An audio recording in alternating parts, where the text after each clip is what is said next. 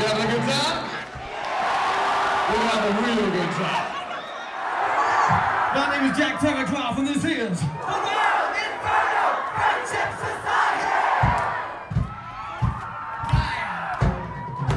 Circus Cabaret Madness. Confetti. People in their best dress clothes, covered in sweat. It takes a certain kind of crazy to be in the World Inferno.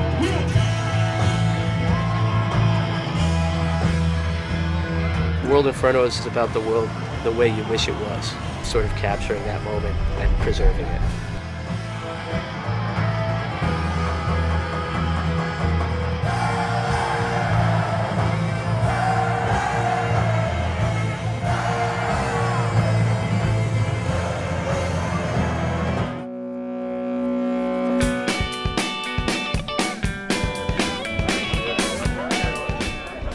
Part of it. The um, this kind of sense that there's something going on here that's bigger um, than just a band. Obviously, there is. The person that got me into them, uh, she was like, uh, you know, going to their first show, whatever, changes people people's lives. And I was like, yeah, whatever. People say that about a lot of things. And then I saw them a few times, and it did completely change my life. I've been going to shows for the past seven years, every single New York show. Uh, this is essentially my life. Uh, nothing else going for me. And I've canceled family vacations. I've canceled family gatherings because I had to work with World Inferno. And I have no regrets about that whatsoever. I mean, these people are my friends and my family. It, I guess it's also probably worth mentioning that like a lot of the kids that come to the shows regularly, like they're called Infernites. There's a cult. There is, There is There a cult is definitely a cult. They, they will be here tonight.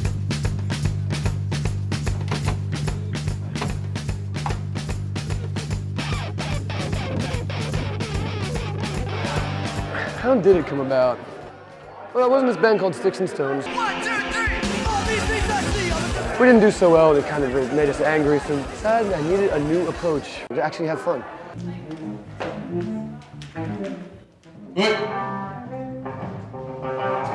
Ready, Mr. Chesky? I guess we'll try the usual one. And I knew Jack from Sticks and Stones. Back then he was PV. When I was a little young at the time, I was like 16 or something. So, you know, I had to I had to be, you know, kind of like assertive about, hey, hey, let me play guitar in your band. As soon as they started recording Bridgewater Astral League, that was when they brought in like me and Benji, and that was about when Semra came into, that was over 10 years ago now. And uh, what a long, crazy ride it's been. There's a nice vibe on stage. I I feel good about it.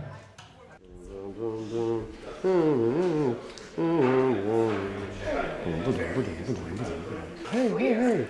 Uh, no, I like, yeah, Fiends After Movie, right? Is that what you said? I think that's what I said. That's what you said. Younger Meavy, Fiend, Grudges, Velocity. Yeah. It is a nice venue.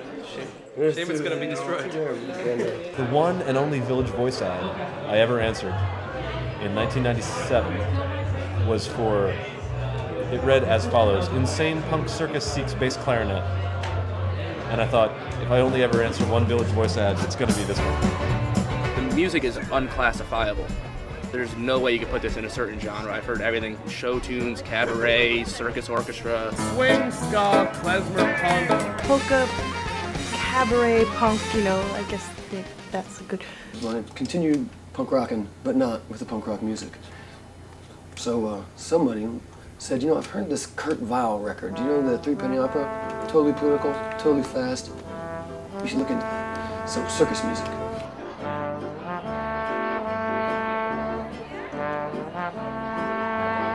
When I first started playing with the band, I thought to myself, well, um, what am I going to wear? You know, everybody looks good and everything like that. So I asked Jack and I said, you know, what would you like me to wear on stage, if, if anything? And he said, every show we play is a special occasion.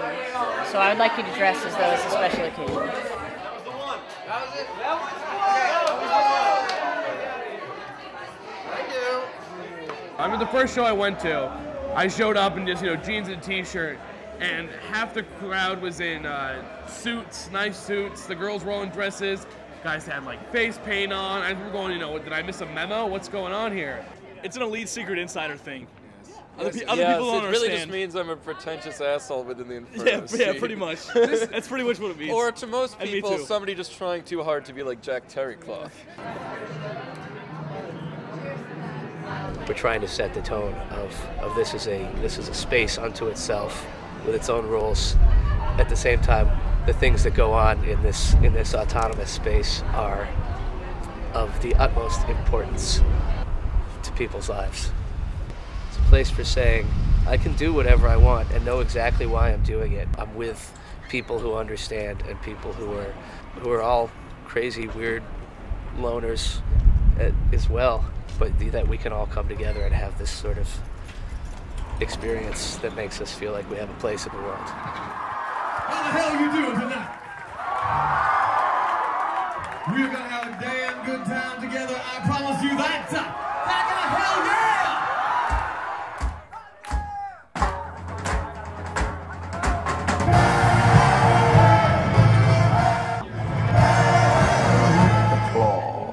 I'm doing Mussolini. You know, being an Italian American, I'm trying to be tough. Who's the toughest Italian you know? Mussolini. Um, yeah, I I can do it now. That's just that's just gesturing. Oh, I thought it was holding a wine glass. Could be, could be. It's not holding Yeah. a wine glass. Mm. It's Mussolini. Mussolini all the way. Awesome. Yeah. Yeah. That is gonna surprise. I never, never know what the kids are gonna pick up on.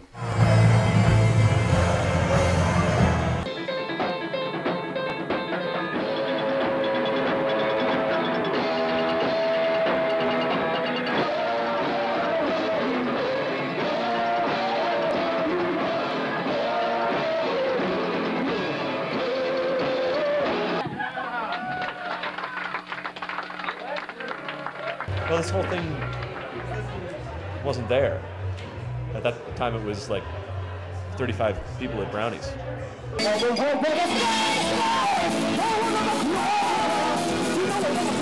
First words I think I said I was just like, wow. They were definitely different from everything else and something you kind of like had to see again. Mhm. And uh, that's when I that got hooked. I mean, Wow, what yeah. the fuck was that?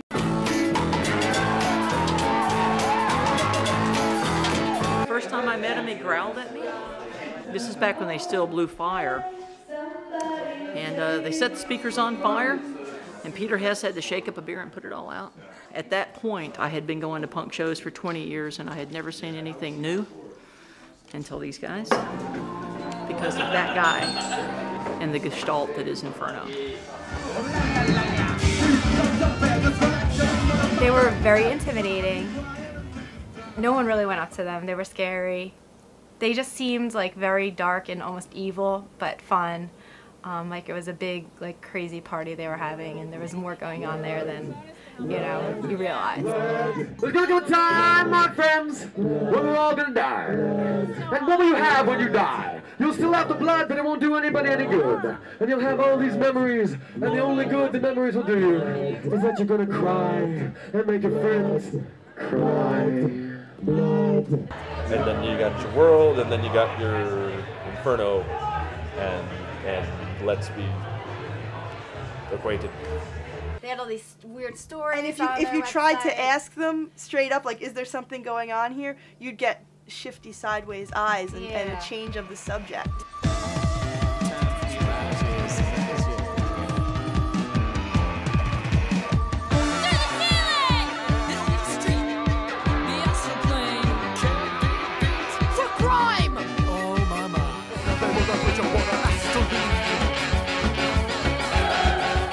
Something as weird as that concept record that they did, which is, you know, a lot of that shit's true, and it shouldn't be.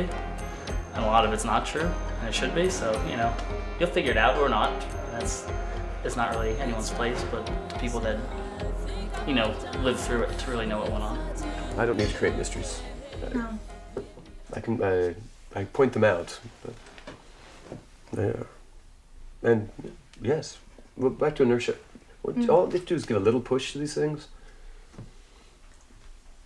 and it takes over people's lives.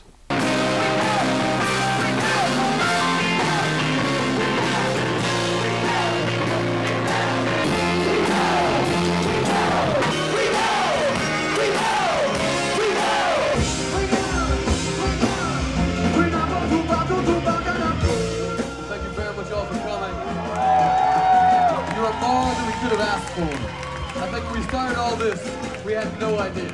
We had no idea that we'd be doing anything but pissing people off.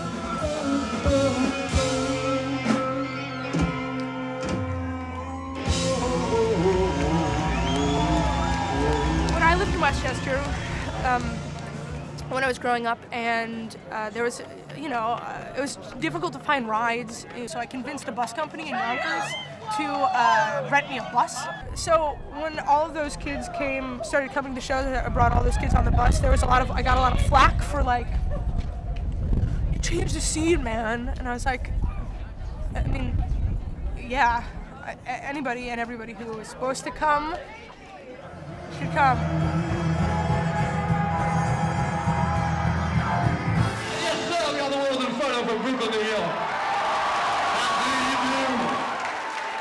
Yes, ever feel like giving up on it all?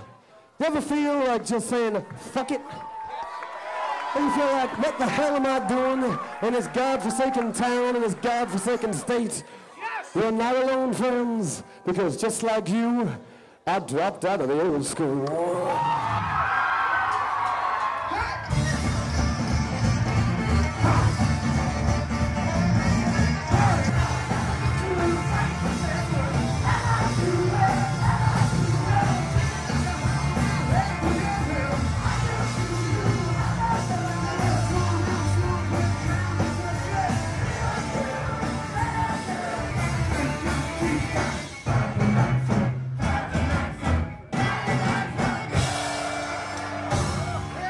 When you get to a certain point where you decide what you want to do, you look for antecedents to yourself, people who had to make similar choices that you have had to make or do make. The next record is all about Peter Lorre, um, because he seems a particularly good example, which might not speak well for us. Doch. Ja, manchmal ist mir. The historical elements of the songs or choosing to sing about um, Paul Robeson or Jeffrey Lee or Peter Lorre. Um, that's all kind of giving us some lives and ways of living to um, consider. If you look at Paul Robeson's life, he was someone who really stuck up for what he believed in, and um, even though it cost him his career, he never backed down. If there's one word, and I agree that this is not unique, defiance. It's defiance. Defiance in the name of intelligence and informed intelligence. They, they are a punk band, in my opinion. They're a punk band, but not in the music sense, in just the sense of the word punk, about not being, not letting yourself being told what to do. Let me make this as brief as I possibly can. I got something to say, and I'm going to say it clearly and slowly so everybody here understands. Friends, there's a message in this song, and the message is Fuck the police! What World Inferno, the sort of ethos and the spirit that it espouses is just um, being true to yourself and standing up for what you believe in. And that is sort of a nice way like, to wish the world was because it's, not really like that, obviously. So people always have to sort of bend and like give in to certain things. So, and World Inferno saying, what if you didn't do that? You know, what if you just did this? This next song is a sad number. It's a sad song about your parents finally realizing that you're not the child they always wanted. It's about the day you don't come home when they get that phone call on their answering machine saying, Mrs. Cloth, Mrs. T. Cloth, we've got your son down here at the station. If you could come bail him out. This is what happens when you pick up a telephone and you say, I shot President Reagan, and I'm gonna do it again and again and again and again!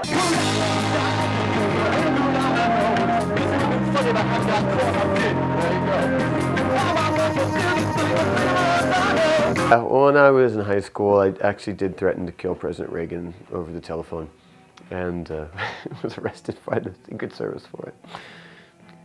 It was funny at the time. I mean, you know, these are true stories, and it gives you someone, gives you something to live by, some, someone to look up to. You know, and I don't know if Jack Terricloth wants to be an idol, but he is. I think he has an undeniable charisma. So, it, you know, it sucked us in for 10 years no, no, uh, you know, being broke. so, I think other people also have have enjoyed it too. Fellas, fellas, too much testosterone's bad for the skin. Just look at me. Big fan of uh, Jack. He's one of my heroes. He's such a, a good person to look up to, you know? You, you see him and you, you hear his stories and his tales, and you're like, you know what? That's what life is all about right there, you know? That's what life is all about. If you hang out with people who, you know, um, who take a lot of risks, who do a lot of crazy things, um, you know, who break things or whatever, you know, you're gonna you're gonna kind of try to emulate them because everybody, I think, everybody wants to fit in to a certain extent, you know. You came the club tonight and said, what a beautiful, beautiful building. It's such a goddamn shame.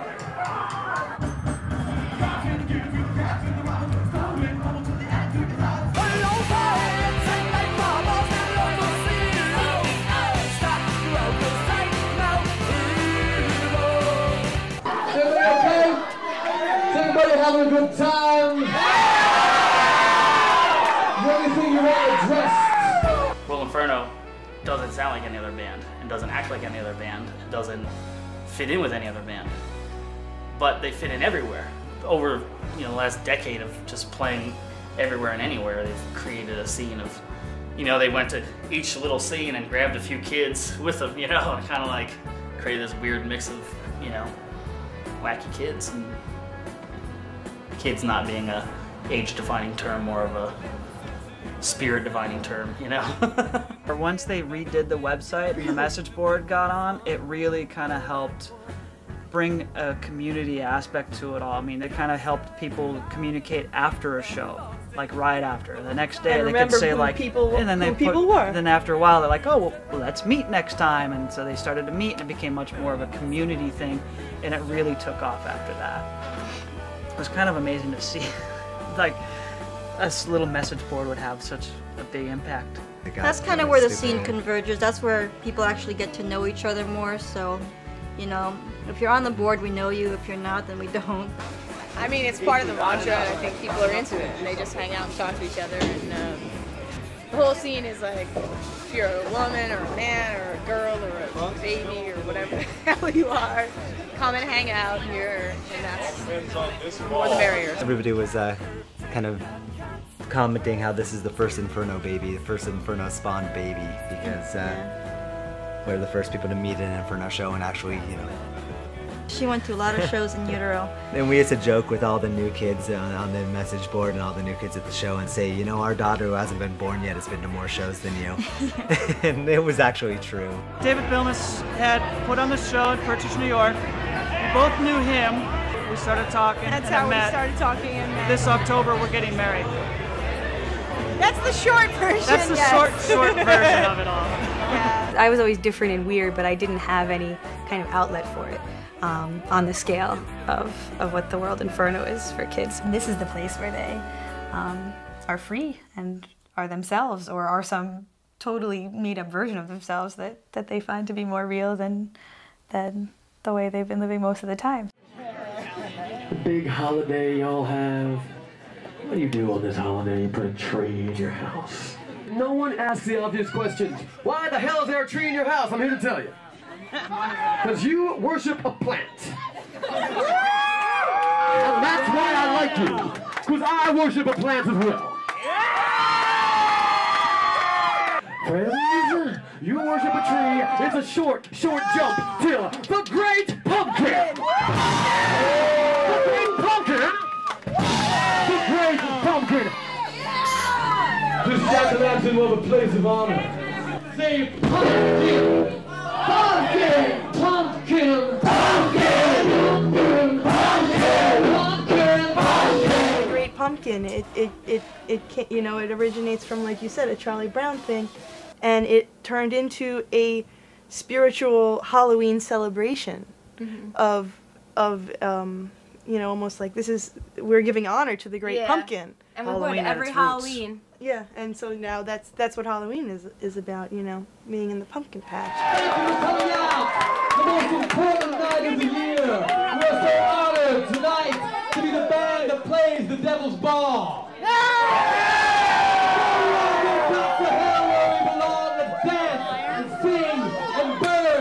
Because tonight is the Devil's Ball!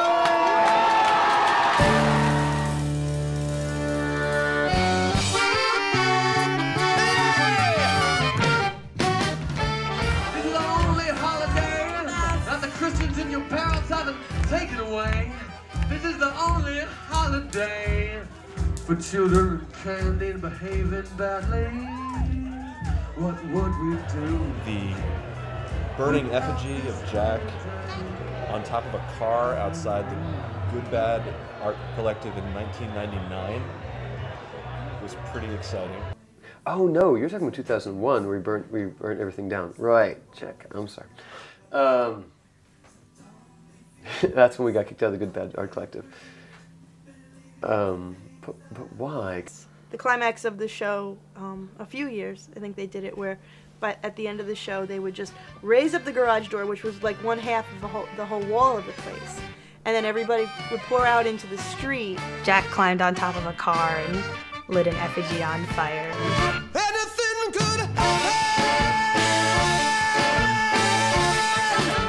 Police and the authorities showed up, and yet no one got hurt, and no one, and no one got arrested. Everyone thought it was everyone thought it was cool. Even the police were like, "Wow, it looks great." And, you know, I hate to agree with the police, and I was like, "Yeah, it really does." and it was just amazing. It was such a, it was such a like a, like a primal, like sort of tribal ritual feeling. the pumpkin so much that was was burning with with um like lighter fluid and different things got smashed and then we were picking it up and taking bites of it eating it and passing it along to other people But that's the whole thing about these uh, pseudo-religious ceremonies that a person becomes the thing and the thing gets destroyed.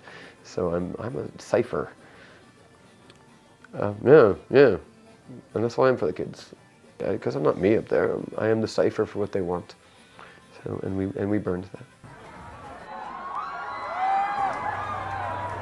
Will you dance with me? Because I think I'm having a heart attack.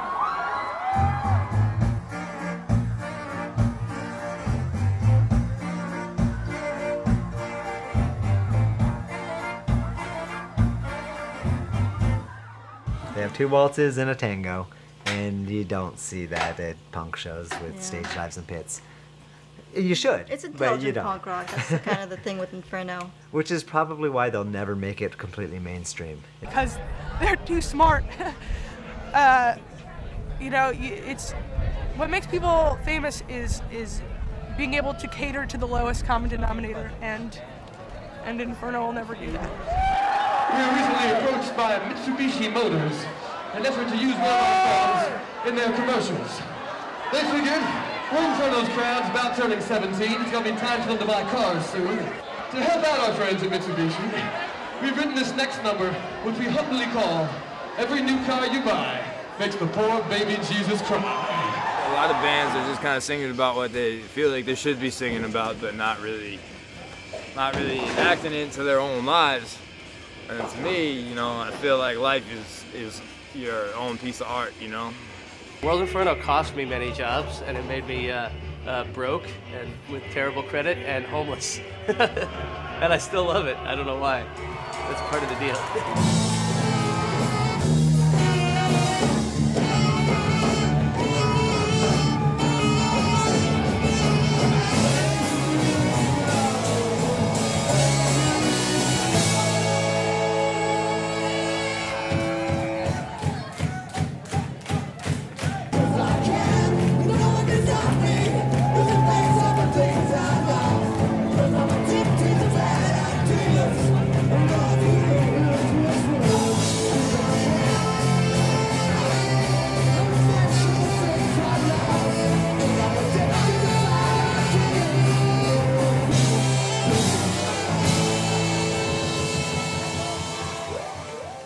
same kid.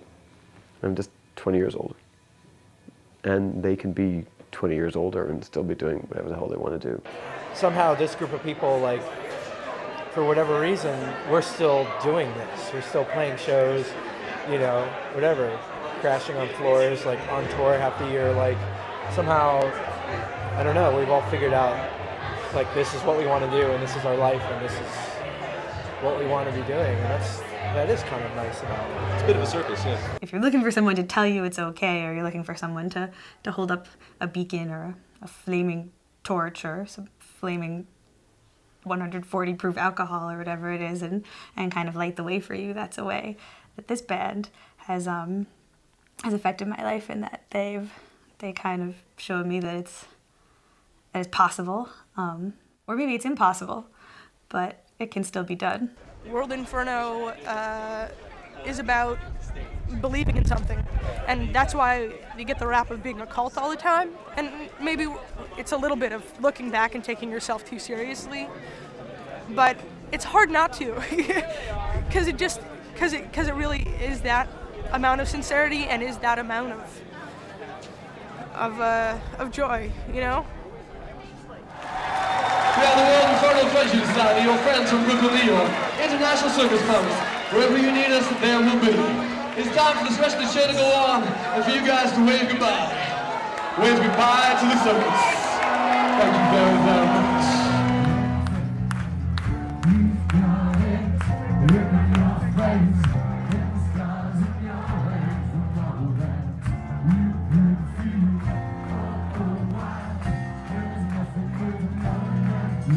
There's a lot of kids who go to shows now that are very young. They're going to be like us, and as they grow older, they may leave the scene and never come back, but there are always going to be a core of kids. There's three of them right here that will probably always be going to shows.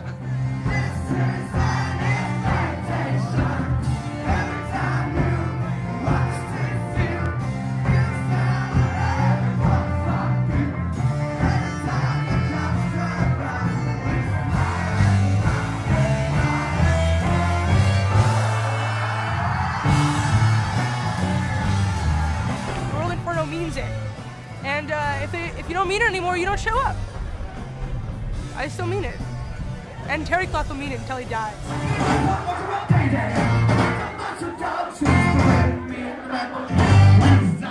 Life doesn't ever, ever have to be dull. Just do something about it.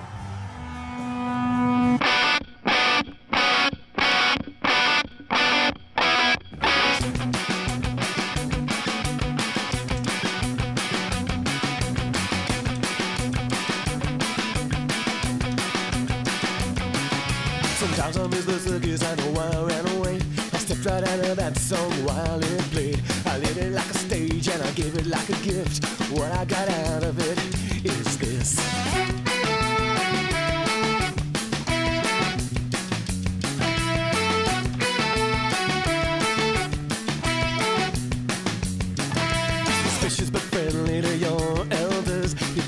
Suspicious to other. You trust your friends and you can't trust your friends. You've already agreed to travel with them. So long to the circus, so long to it all.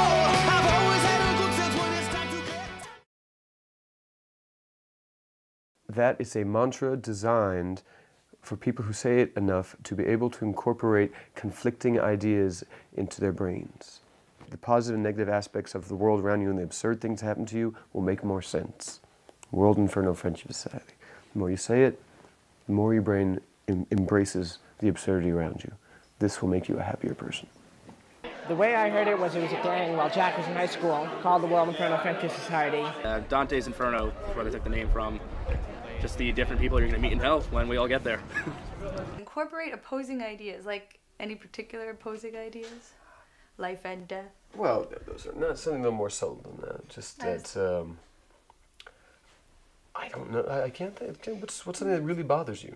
Me? To something that just, Mm. just doesn't fit together. Like you want to sleep late and yet During the Cold War, there were all these these international um, sort of uh, cross Iron Curtain friendship societies, like the, the, the Chinese American Friendship Society. They fostered just like communication between uh, capitalist and communist nations in a ostensibly you know, productive way. And so that's where the friendship society comes from. It's a Cold War metaphor. The president, institutions, the government, the United States, imperialism. Yeah. uh, That, the saying our name won't help you with those kind of things. No. I'm talking more about not, not quite abstract things, but things that usually confuse and frustrate you, such as. See, that's that's a big question. love. Lo- you love someone, but but it hurts so much to love someone. World Inferno Friendship Society, people think it's a friendship between the band and the fans. It's not really about that. The band and the fans are the world. It's a friendship with hell. And then you got your world, and then you got your inferno, and and let's be acquainted. It's taking the world above and the hell below and bringing them together. Lines. I hate lines. Like it's Oh, waiting in line? like Yeah, yeah. long lines. I just sometimes put everything back. You know. I, I just walk out. Actually, I've been doing that lately. Don't put everything back and still. Can World Inferno help you with that? I think yeah, freedom from lines. Mhm. Just walk out. If they really want you to pay that badly, they'll come after you. Uh,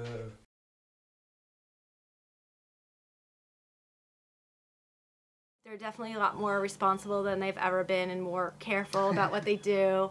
Um, In some ways. Yeah, in some ways. More than they were. More I than they were. That's She's for sure. saying. Uh, That's I for mean, sure. there were shows that I've been to where they set off fireworks in the middle, like in a small bar in, in New York City, and you know they would hand off the same ID to like four different girls just to get in. Um, The band would from the whole come. The band would come out with every, with all the band members' IDs. Who needs an ID?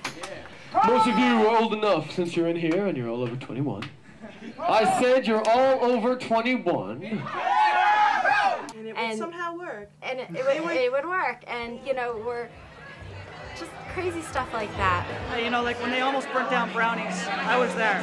It started as most of their shows did. You know, when Tattoo Space started, Semra would light her cymbal on fire, and Jack would blow flames a couple times. Now the, fir- the the place had an arch like this over the stage, but the first time he did it, there was a monitor hanging above the stage, and it kind of, you know, it's alcohol, so it just kind of engulfed the monitor. But since it's alcohol, it burned off really quickly. It's like, wow, all right. But the next time he did it, he faced the arch, more close to the arch, and he got a really good flame out of it. The arch was made of fabric, so it kind of caught a, little bit of it, smoldered, and then started to burn, and eventually just kind of went out. But you could see it, like the rest of the show, there was a small little burn area. I mean, you could tell that they were going to get in some sort of trouble, but I didn't think a pan would be happening. Originally, he had a, a cocktail glass, and, and I said, we don't, we don't, we do drink cocktails, but wine is more appropriate. You gotta drink red wine and do whatever you feel in the heart. That's what it's all about, you know? A lot of drinking outside, a lot of drinking inside, uh, and of course it's always gonna be the fancy suits and things like that. Empty bottles of wine everywhere. It's a World Inferno show. Uh, you're, you're in the band, aren't you? Well, yes, I am, man. I'm in the band.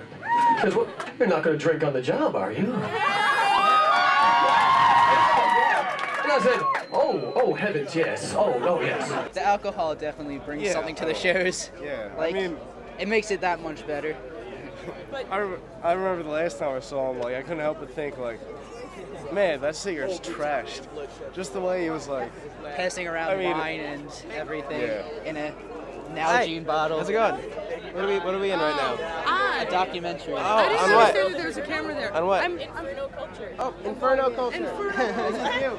Here, here, here it is, right Here here. she is. Hey, motherfucker.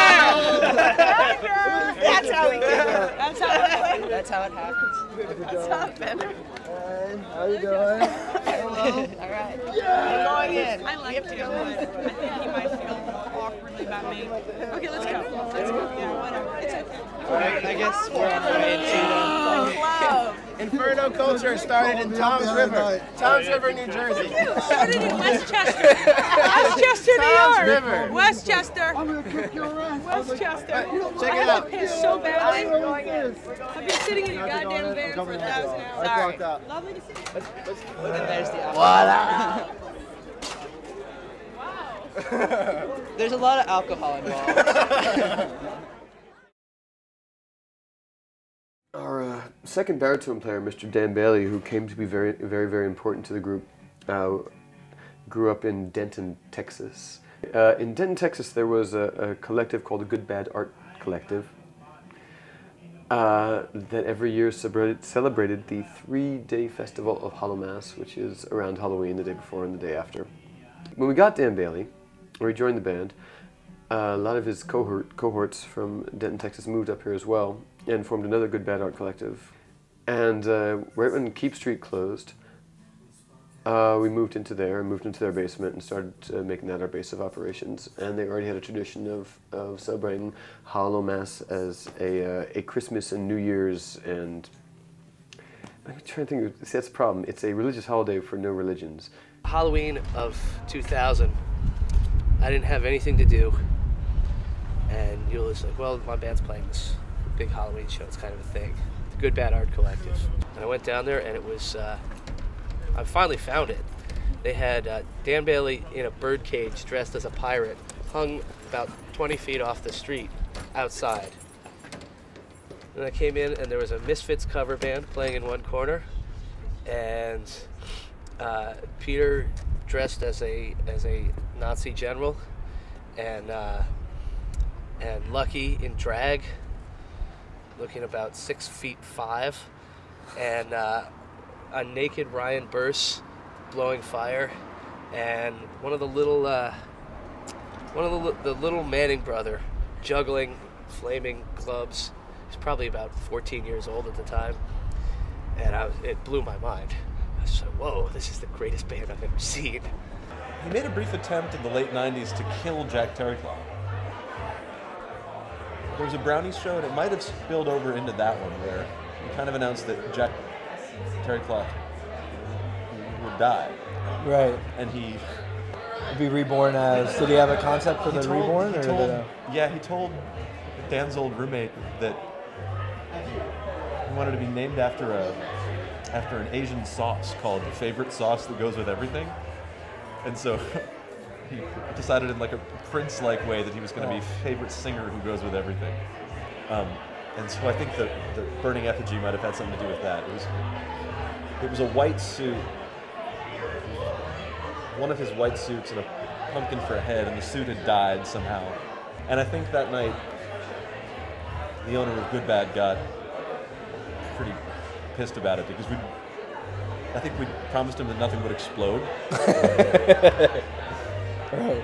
And it didn't explode; it was just on fire. Right. And and he wasn't into that technicality. Yeah. he said something about the letter of the law versus the spirit of the law. I think he punched him. I'm pretty sure that happened. Candy was- corn fight. I was one of the people to hoist Jack up. Oh, did you I was- hoist? yeah, I was helping hoist. Ja- Yeah, Jack was flying above the crowd at the end of the, you know, when it was time for pumpkin time. I guess it was during that show, right?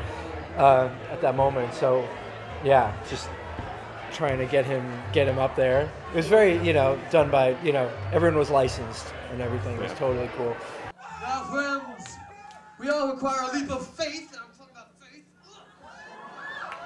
From the pumpkin patch, here I live. And by the end of the night, so there were candy. How many fucking bot like it was things of candy corn did you? I mean, it was unbelievable the amount of candy corn. It's at North Six, R.I.P. Rest in peace. Um, just fucking thrown like thing after I thing, think it was like buckets I and think it was buckets. hundred pounds of candy. corn. It was something like that. It turns out candy corn gets hot, then it gets really gross, and then it gets really slippery. The entire floor of this club was was covered in this orange and black viscous goo. And everyone's shoes. You get home Every- and everyone's like, shoes was, oh. were ruined, but so Yeah. he had to hoist Jack up on a rope so he could fly over the audience. Right. Was- While we were like, we could like actually stand up. It, it was like an episode of Scooby Doo. Their Yeah. legs are going, they're, they're sliding forward while Jack is not really flying as we intended, but kind of dangling, just kind of bobbing there. Uh, but so when we left the Good Bad Art Collective, uh, we took Hallowmass with us. And we can, continue to celebrate it to this day. And I bet we'll continue to celebrate it as long as, long as I'm breathing. Because uh, Even if we don't play any other shows during the year, I'm sure World Inferno will play a, Halloween show. You think your scene's dead, man? Mine got killed by some dimwit's triumph of the will.